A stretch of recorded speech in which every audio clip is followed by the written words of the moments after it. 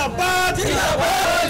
দিল্লী হত্যাকাণ্ডত বলি হোৱাসকলক শ্বহীদ ঘোষণা কৰিব লাগিব অঞ্চল জিন্দাবাদ। জিন্দাবাদ জিন্দাবাদ জিন্দাবাদ। নেলি হত্যাকাণ্ড ন্যায় বিচাৰ লাগিব জিন্দাবাদ জিন্দাবাদ। অসম চৰকাৰ হাই হাই। অসম চৰকাৰ হাই হাই।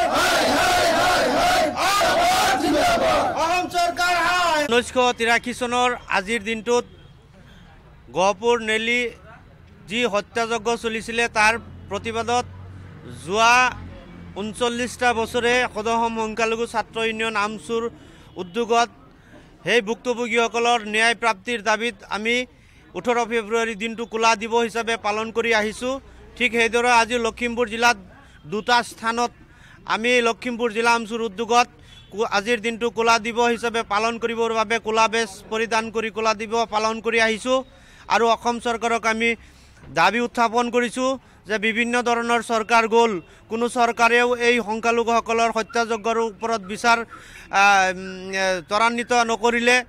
যিহেতু তিৱাৰী আয়োগৰ প্ৰতিবেদন আছে গতিকে মাননীয় নৰেন্দ্ৰ মোদী ডাঙৰীয়াই যিহেতু আমাক বিশ্বাস দিছিলে যে চবকা সাথ চবকা চবকা বিশ্বাস গতিকে আমি বিশ্বাস কৰিছোঁ।